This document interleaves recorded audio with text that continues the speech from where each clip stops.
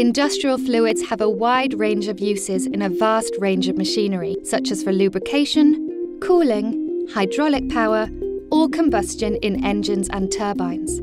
The condition of these fluids is critical to ensuring a high performance of any machinery which relies on it. Contamination caused by friction, wear, leakage, and excess temperatures can contribute to negative changes in the fluid's condition. These condition changes can go on to cause issues in components and subsystems, which ultimately affects the system as a whole. Furthermore, these contaminants accelerate the normal aging process of the fluid, which causes premature performance losses that often result in system downtime. In order to prevent these time consuming and costly consequences, proper system maintenance is key.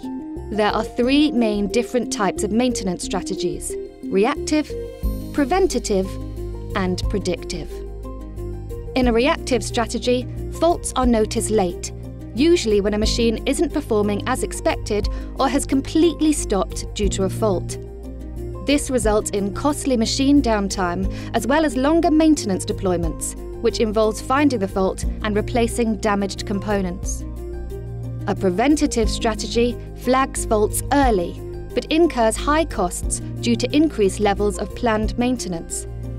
These maintenance deployments are often unnecessary and can also lead to the replacement of components too soon into their working life.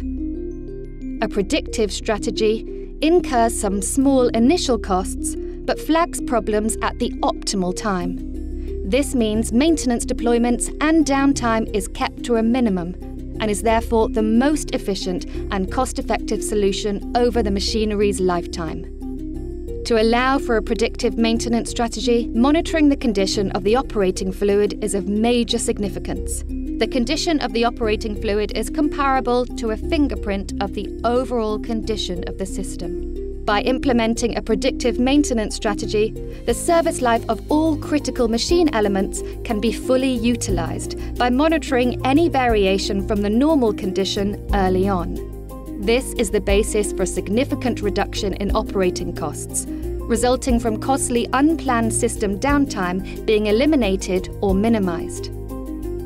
A predictive maintenance strategy allows available resources to be utilised optimally, reducing the total cost for the machinery throughout its service life.